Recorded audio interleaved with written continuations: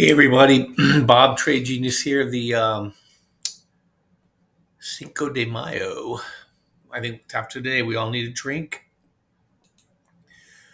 The market is doing some really crazy stuff here, and um, if you look on a daily, it looks like a lot of consolidation down here, just like it did here. But I just wanted to point out to you, this is the handle, this is the cup.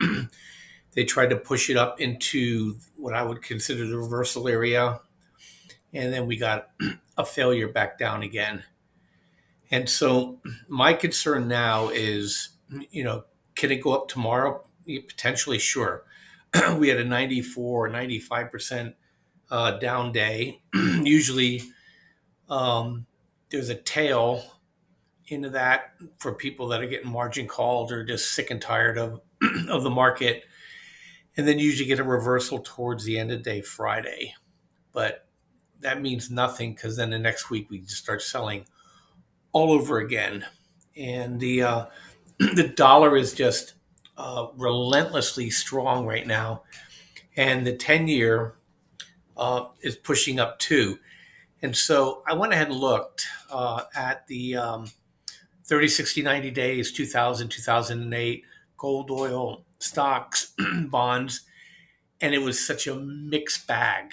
Okay, so we had a day where the market was down 3%, bonds were off again.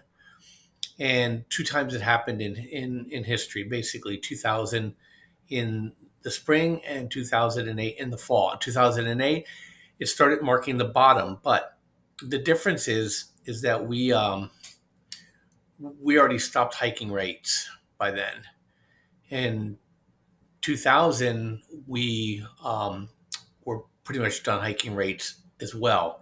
This time, we're just starting hiking rates. And so, does it is really 1994 really in play here? Um, I didn't get a chance to look that far back. Um, TradingView doesn't take me back that far. But my view is this: is that I think Nasdaq's already in a 2000 to 2008 kind of decline, and I think it has further to go. In 2000, we fell for another year uh, pretty hard into uh, 2001 on NASDAQ. We already have apparently 80% of all NASDAQ stocks are in a bear market. And so people end up at the NASDAQ's only down 15%. That means Apple and Amazon, Netflix, you know, Google, Microsoft, all those uh, Tesla are all holding the market up. And they'll start to crumble and we'll just get this relentlessly selling of these passive ETFs. That's my big concern there and just grind everybody to death. Look, I own CCJ.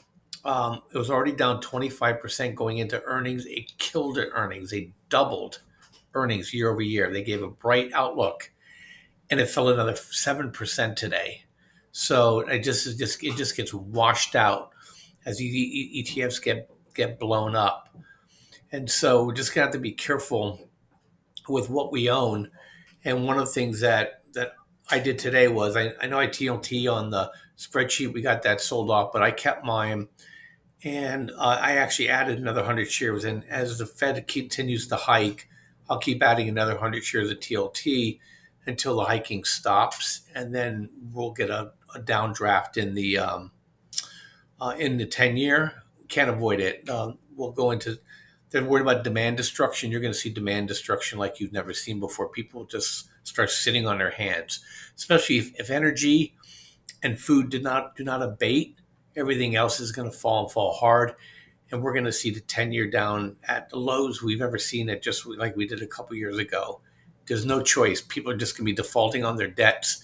They're just going to be walking away, and and if you look at Europe, Europe's absolute basket case right now. China, I don't know what China's problem is. The, they're either setting up to go to war, they're suicidal, they're trying to bring us down. But whatever they're doing, they're destroying their own productive capacity. And I don't know if they're ever going to recover from it because no matter what policy decision they're making, at some point the Americans are simply going to shift production. We have no choice. You know, Mexico's already cheaper. You know, Vietnam sits over there, India sits over there, Indonesia sits over there plenty of places to go. And also, automation is getting better and better and better. Some of that stuff will get onshored into the United States. So, um, whatever they're doing, and if you're listening, Communist China, um, it, it, better be good because I don't think you're gonna you're gonna last it. Oil right now, look, I mean, geez, oil's up again tonight. So uh, whatever they're doing, they're not scaring oil off at all. It broke the downtrend line. So what doesn't go down goes up. So now you have to look at are we going to be bringing $120 barrel of oil back into play again? my only saving grace in my portfolio is we own a lot of energy names. so we're relatively protected, you know, in my longer term accounts. And uh, until oil relents, and oil is not inflationary. Everybody will tell you it's inflationary. It's a tax. Oil's a tax. Food's a tax. Okay, that's why they eliminate it from the, you know, from their counting of the CPI all the time because it really, it doesn't contribute to inflation. It contributes to uh, to deflation. What comes in inflation is the government tries to outrun it, or wages try to outrun it, like they did in the '70s. But we're nowhere in that environment today people are opting out. People are retiring. People are on fixed incomes. So I don't see where they're going to get this big push in wage push inflation here with a smaller and smaller shrink of the population. Look, when I was a teenager in the 70s, you know, we were getting COLA increases, you know, my parents were every year because that's how it was working. And, you know, and the, the percentage of people working in the economy was far higher percentage than it is today. I mean, we're pushing down at 60%. And, and so it's going to be a problem. And gold, you know, the other thing I worry about gold is gold bottom in 2008, but gold was falling in 2000. so um, it's just a, hot mess. And uranium actually started taking off, but it took um, the middle of 2001, 2002 before it had its big run up higher, too. So the only thing about natural gas and uranium that I like, they're in deficit and they're needed. And I think they're going to get bid. In fact, uranium prices were up today. And looks like after hours, you got a big pushback higher in CCJ. I'll see if they get a um, they get a lift here, but I'm just going to be definitely very very careful. And so if we fall below 4,000 or 4,100 on a closing basis, we're going to drop another 500 points here, guys. It's um, that's how the math works. You know, we have these um, these measured Miyagi's, which are basically these dark pool prints, down at you know SPY 380.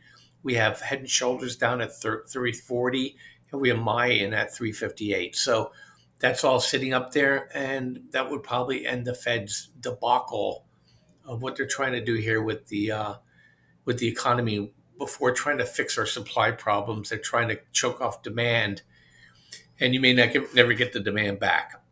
So, and then supply will come online and we'll get more deflation. Ay, ay, ay. Anyway, I'll see you guys tomorrow. Try to enjoy tonight if you can, and you know, because there's nothing you can do but the best. I'll see you. Bye bye.